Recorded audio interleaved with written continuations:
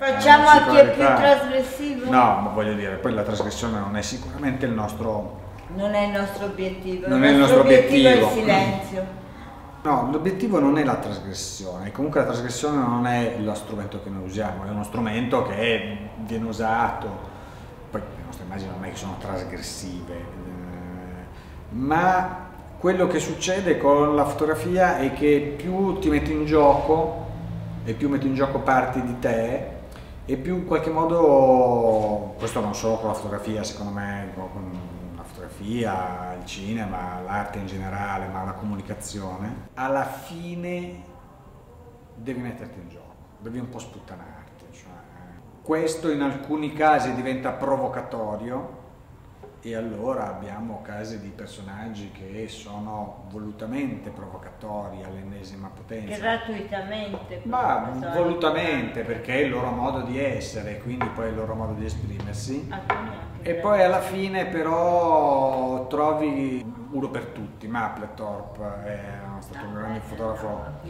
Beh, beh, però è così, insomma, no? Cioè lui poi aveva questo lato eh, dove fotografava questi fiori e le foto di questi fiori Erano, sono sensuali. sono di una bellezza e di un'eleganza sconfinata. La sensazione che ho avuto andando a guardare la sua mostra è che lui alla fine avesse bisogno di fotografare le immagini provocatorie, perché le sue erano veramente provocatorie, e lui si, veramente si è messo in gioco nel, nel suo essere fotografo.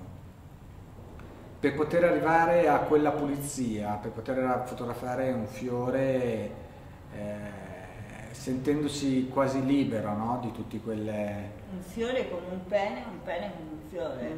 No, secondo me il processo era un po' diverso, no, secondo me lui non fotografava il pene come un fiore e il fiore come un pene. Ehm, erano proprio due lati del suo essere.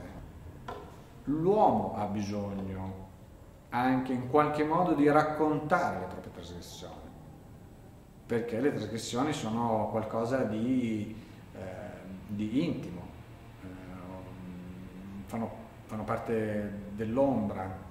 Credo che comunque tutto può esistere solo se, eh, se si, se si è totali e quindi la totalità in qualche modo a volte ti porta a, a far uscire delle parti trasgressive?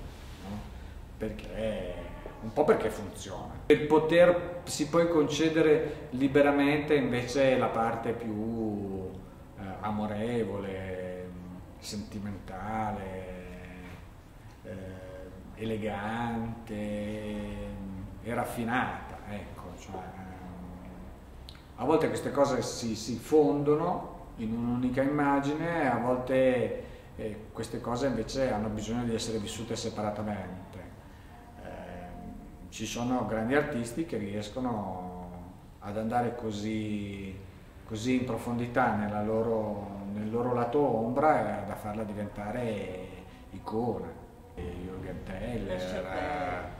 eh, la Chapelle, la Chapelle, l'ultima fase della Chapelle è una fase assolutamente eh, di grandissima eleganza, e però insomma, dire, tutto il suo racconto iconografico eh, invece è kitsch americano, è- è- è totalmente materiale, è, è pornografico anche quando non si vedono le tette, cioè non- è come se, se a un certo punto è una catarsi, ecco, la trasgressione nell'immagine è una forma di catarsi che permette poi di andare oltre. E quindi a volte quando, quando vengono queste intuizioni eh, c'è come un bisogno impellente di doverla, di- di- di farla quell'immagine, cioè c'è bisogno di, di dire ok, cioè, questa cosa io la vedo e la voglio fare perché, perché è un modo per andare oltre e sicuramente eh,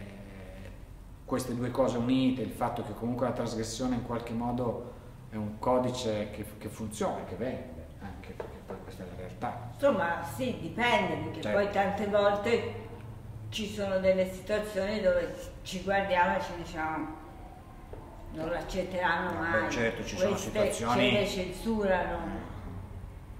A volte ci autocensuriamo prima che ci censurino gli altri o, o semplicemente invece non riusciamo a, a, portare fino in fondo un discorso perché ci sembra troppo anche per noi, insomma. Noi amiamo molto guardare quello che fanno i fotografi, ma non per copiare, imitare, ma per sentirci meno soli in questi spazi interiori no, che si attraversano quando si crea un'immagine.